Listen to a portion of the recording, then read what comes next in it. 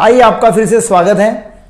आज मैं आपको ऑब्सेसिव कंपल्सिव डिसऑर्डर बार बार विचार की और कृति की बीमारी, इसके बारे में बातचीत करने वाला हूँ। इसके बारे में ये वीडियो है। ये जो बीमारी है, जिसमें बार बार बार बार विचार आते रहते हैं, एक ही विचार बार बार बार बार आता है, और वो विचार कभी कभी कृति में भी कन्वर्ट हो जाता है। मतलब उसको विचार ऐसा आता है कि हाथ गंदे है और फिर वो हाथ गंदे ऐसा बार बार विचार आता है तो फिर बार बार हाथ धोने की प्रक्रिया भी चालू हो जाती है, वो कृति चालू हो जाती है। या उसको लगता है कि मैं गंदा हूँ तो गंदा हूँ तो लेटरिन से बाहर आने के बाद में भी बार बार बार बार धोना पड़ता है। या मैं गंदा हूँ, पूरा बदन गंदा है तो ये अपना स्नान जो करते हैं तो स्नान भी उनको करने के लिए एक एक दो दो तीन तीन घंटे लगते हैं। वो पूजा पाठ जो है, वो दो दो तीन तीन घंटे पूजा करेंगे। मतलब कोई भी कृति उनको करना है तो उनको ऐसा लगता है कि वो कोई भी मतलब कृति वो पूरी हुई नहीं है कोई भी विचार इतना बार बार बार बार आता है कि विचार आने का इतनी एंग्जाइटी इतना टेंशन आता है कि वो कृति करने बिना वो कृति किए बिना उनको अच्छा लगता नहीं है। कुछ लोगों को सिर्फ़ विचार आता है कुछ लोगों को विचारों के बाद में कृति करनी पड़ती है। तो लॉग बार बार बार बार चेक करना या जो आ, मतलब टाइल्स लगाई हुई है, वो टाइल्स को चेक करना या मतलब वो टाइल्स का जो जॉइंट रहता है, उसके ऊपर पैर नहीं रखना। या जब स्टेयर के से जो जिना जब चढ़ते हैं या उतरते हैं, तब जो स्टेयर है, पैर है वो गिनना, वो गिनते जाना बार बार हाथ धोना बार बार वही सेक्स के बारे में विचार आना गंदे गंदे सेक्स के बारे में विचार आते रहते, भगवान के बारे में विचार गंदे गंदे आते रहते, माँ के बारे में विचार गंदे गंदे आते रहते हैं।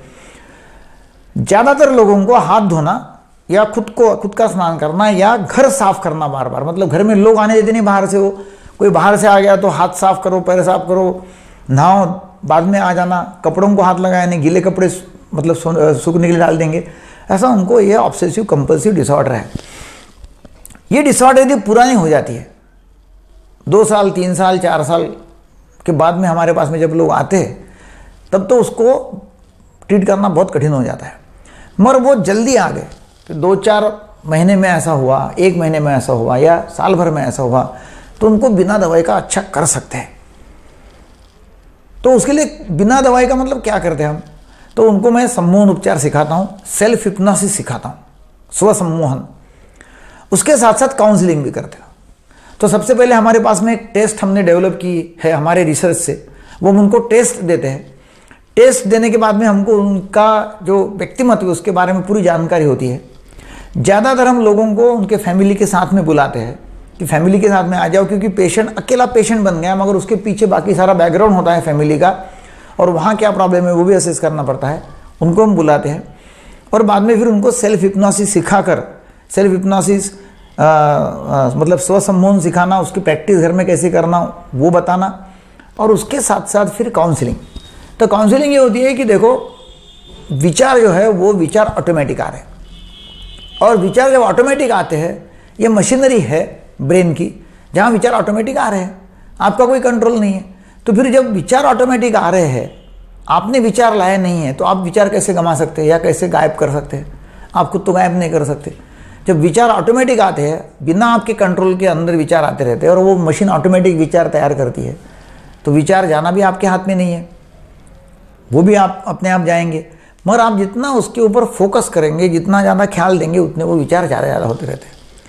तब उनको जो ट्रीटमेंट बताते हैं, वो बिहेवियर थेरेपी बताते हैं। बिहेवियर थेरेपी में मतलब वर्तणुक जो है बर्तन जो है, उसका उपचार करना। फिर एवर्शन ट्रीटमेंट है, वो एवर्शन ट्रीटमेंट से उनका उपचार करते हैं। स्वसम्मोहन से उपचार करते हैं मेडिटेशन से उपचार करते हैं काउंसलिंग से उपचार करते हैं। तो अलग अलग ये बिना दवाई का, क्योंकि दवाई इसके लिए जो देते थे वो है क्लोमीप्रेमिन फ्लॉक्सेटिन या फ्लूवोक्सामिन ऐसी दवाइयाँ देते रहते हैं मगर दवाई के साइड इफ़ेक्ट भी काफ़ी होते रहते हैं और फिर लोग दवाइयाँ लेते नहीं हैं। कभी कभी रेस्पिरेडॉन ये दवाई भी उसके ऊपर ट्रायल करके दी जाती है। क्या होता है कि क्लोमीप्रेमिन फ्लॉक्सिटिन ये दवाई बहुत ज़्यादा मात्रा में देनी पड़ती है और उसके साइड इफ़ेक्ट होने के कारण फिर पेशेंट दवाई लेना बंद कर देता है। तो इसके लिए आ, कम से कम दवाइयाँ यदि पेशेंट की इच्छा नहीं तो हम दवाई देते भी नहीं है और सिर्फ़ उसको काउंसिलिंग करके स्वसम्मोहन उपचार करके उनका इलाज और फैमिली का काउंसलिंग करके उनका इलाज होता है। हमारे यहाँ लोग ऑनलाइन काउंसलिंग के लिए कॉल करते रहते नीचे नंबर दिए, वहाँ आप कॉल कर सकते हैं। तो ऑनलाइन काउंसलिंग करके हम उनको पेशेंट को अच्छा कर सकते हैं।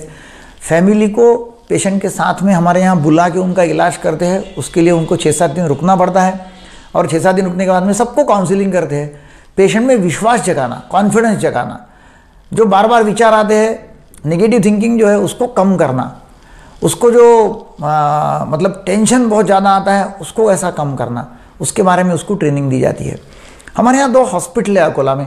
एक हॉस्पिटल रिश्तेदारों के साथ में हम यहाँ भर्ती करते हैं। दूसरा हॉस्पिटल रिश्तेदारों के अलावा हम भर्ती करते हैं पेशेंट लोगों को और इनका इलाज करते हैं। सबके लिए मानसिक स्वास्थ्य और व्यसन मुक्त भारत ये हमारा संकल्प है। आप ये वीडियो लोगों को शेयर करो ताकि आप भी हमारे ये संकल्प में हमारे मिशन में पार्टनर बन सकते हैं ज़्यादा से ज़्यादा जन जागृति करके। ये वीडियो आपको अच्छा लगा तो ज़रूर शेयर करो लाइक करो सब्सक्राइब करो बेल आइकन आता है उसके ऊपर क्लिक करो. Thanks for watching